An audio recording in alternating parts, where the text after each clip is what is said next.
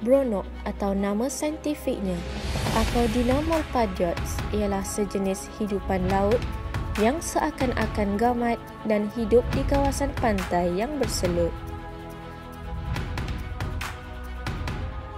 Secara fizikalnya, bronok berbentuk lonjong dan berwarna putih kemerahan bagi yang muda dan berwarna coklat bagi yang tua pula.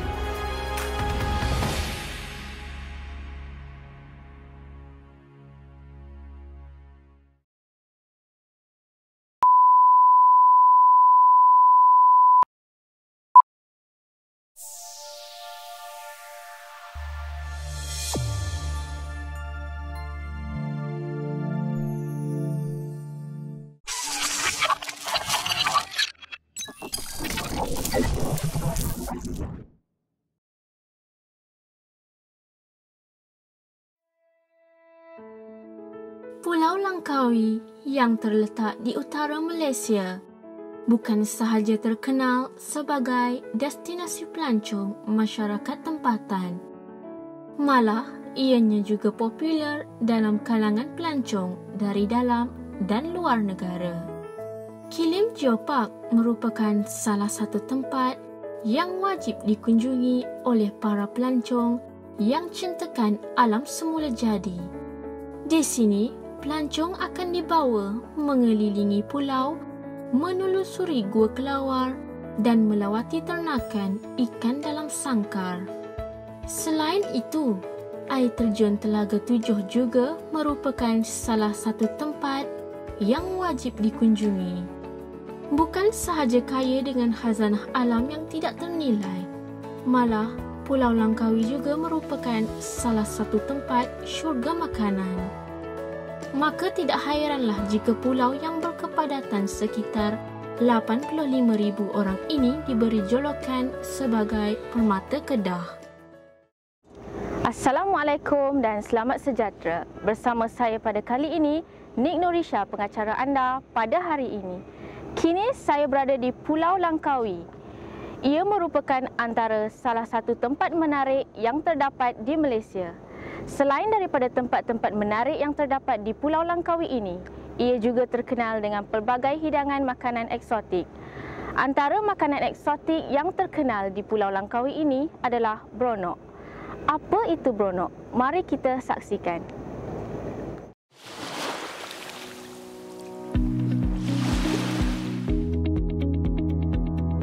Bronok atau nama saintifiknya Accaudina molpadiots ialah sejenis hidupan laut yang seakan-akan gamat dan hidup di kawasan pantai yang berselut.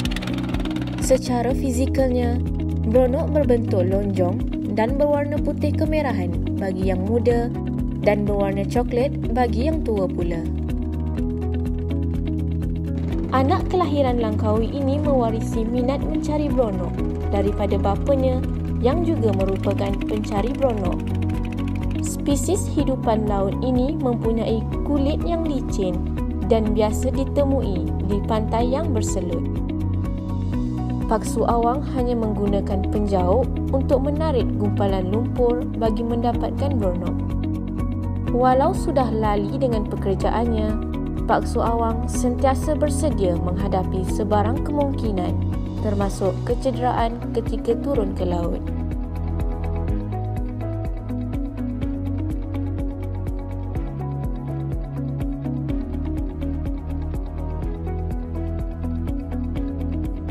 Kebanyakan pencari bronok memiliki bot tersendiri yang digunakan untuk turun ke laut bagi menangkap bronok. Walaupun pekerjaan ini ibarat kais pagi makan pagi, kais petang makan petang, Namun, Pak Su Awang tidak pernah sedikit pun mengeluh demi menyara kehidupan keluarganya.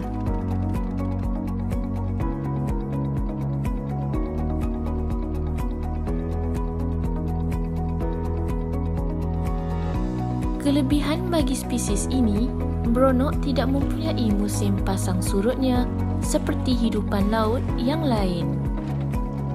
Jika nasibnya baik pada hari itu, beliau boleh menangkap bronok hampir 60 kilogram. Nama saya Shalini. Orang panggil Pak Sawang. Ya. Okay, uh, berapa lama dah Pak Su buat uh, ni tangkap beronok ni? Uh, lebih kurang lebih kurang 4 tahun lah. Kalau Pak Sawang pergi menangkap beronok, peralatan yang digunakan untuk menangkap beronok tu? Uh, penjuk. Tu penjuk tu atas tu. Uh, okay, macam mana kalau nak mengesan beronok yang muda dengan yang tua? Uh, yang ini tua. Yang ini muda. Usia yang macam mana yang Pak Su guna untuk buat kerabu tu? Yang buat kerabu ni kita guna dua-dua lah. Walaupun ia mempunyai tempoh matang yang tersendiri, namun kedua-duanya tetap akan diambil untuk dijadikan kerabu bronok. Jalan Padang Kandang Di sini merupakan tempat kediaman Pak Su Awang bersama keluarganya yang terletak tidak jauh dari pantai Pasir Berdengu. Zubaidah atau lebih mesra dipanggil Makcik Bidah merupakan isteri kepada Pak Su Awang. Selalu uh, kalau selalu yang Pak Su Awang bawa balik beronok, makcik yang siang ni proses. Dalam menyara kehidupan keluarga mereka, beliau turut membantu suaminya dalam memproses beronok yang telah ditangkap. Oh, yang ni yang orang untuk orang tempah. Beronok yang telah disiang dan dicuci akan direndam bersama air laut dan diletakkan di dalam peti sejuk bagi mengekalkan kesegaran beronok.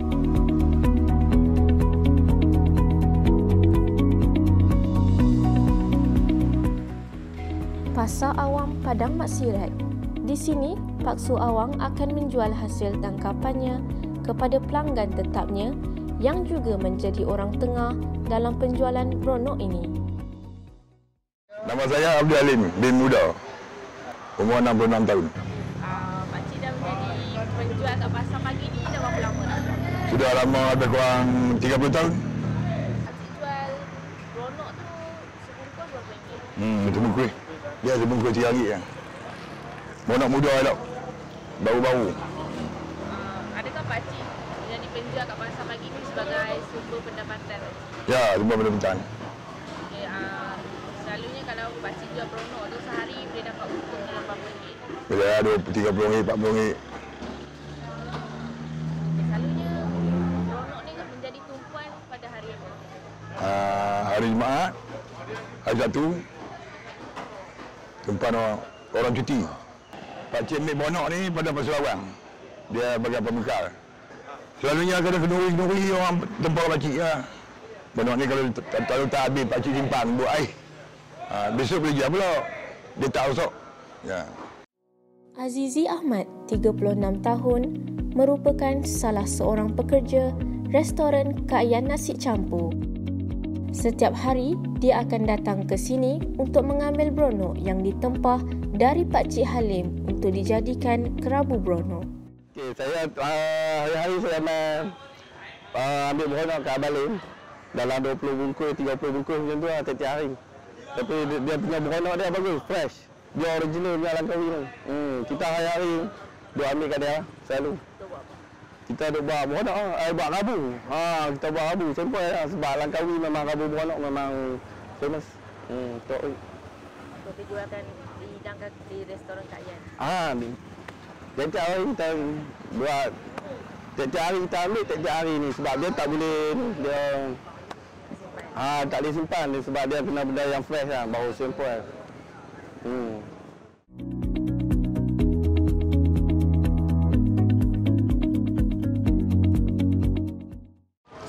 Ni RM3 Pakcik? Okey, jadi beronok yang dijual di Pasar Awam Padang Maksirat ni sebungkus berharga RM3. dia tidak boleh dikira secara timbang kerana mempunyai selut lah pakcik. Ah, selut dengan- selut dengan air. So jadi macam kita kira ni sebungkus RM3. Restoran Kak Yan Nasi Campur terletak di Jalan Ulu Melaka, Kampung Padang Gaung, Pulau Langkawi. Di sini, pelbagai hidangan juadah tengah hari disediakan dan yang paling utama ialah harga murah dan berpatutan. Restoran Kak Yan mula beroperasi sejak 2012 yang dimiliki oleh saya sendiri, Norian binti Marwan sejak berumur 32 tahun. Cabaran ketika saya membuka kedai, nak membangunkan kedai banyak cabaran lah. Bermula dari kecil-kecilan dan meningkat tak sangkalah sampai besar senyap ni yang mendapat sokongan daripada keluarga sendiri.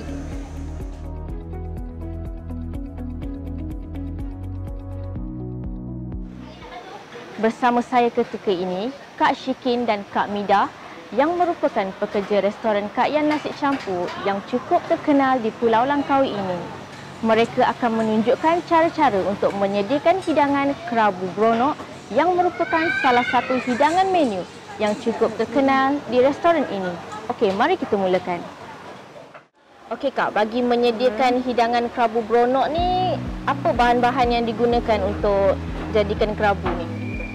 bahan-bahan dia sambal, risik, bawang, sel, daun selom, Ah. pelam dengan apa nama tu? Sobok.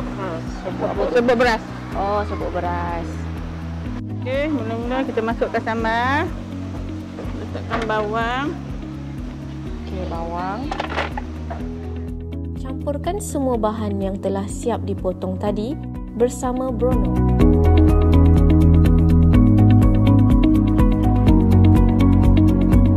Dan langkah terakhir, gaulkan sehingga semua campuran sebati dengan brono. Kak, boleh saya cuba untuk gaul kerabu ni? Bagi ni. Okey. Gaulkan, kita pakai gaulkan. untuk kebersihan. Okey, gaulkan kerabu ni sehingga sebati supaya rasa dia sekata. Okey, dan langkah yang terakhir bagi menyediakan kerabu bronok ni ialah kita masukkan. Masukkan sebut beras dua cekak. Okey, kita masukkan serbuk beras sebanyak dua cekak. Okey, kemudian kita gaul hingga sebati.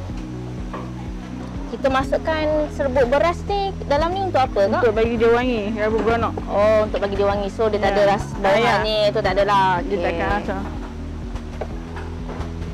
Okey, sekarang kerabu beronok sudah Ya. tersedia.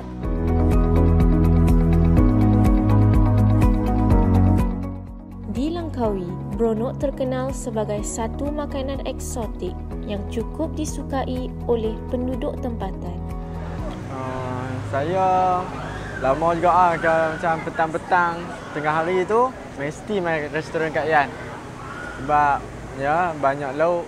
Salah satu antara beronok ni ah yang selalu kami main orang luar pelancong luar pun main sebab beronok ni ah kerabu beronok. Memang sedap. Uh, saya datang, saya asal dari KL. Saya datang sini uh, dari member saya, kawan saya bagi tahu. Saya nak datang sini, saya nak try kerabu kerabu beronok ni. Dia orang kata kerabu beronok ni sedap. So saya datang sini makan. Dan rasa dia sedap juga lah. Hmm. InsyaAllah di masa akan datang, kalau ada rezeki yang lebih, Kak Yan akan cuba untuk membukakan cawangan yang lain di lokasi di Kuala Lumpur ataupun tak mana-mana tempat yang sesuai lah.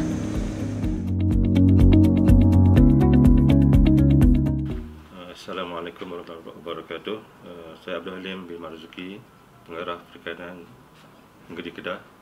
Uh, untuk makluman, Jabatan Perikanan Malaysia bermula pada tahun 1894 dan terus berkembang sehingga menjalankan atau perikanan uh, 1985 dan telah genap pada tahun ini 125 tahun.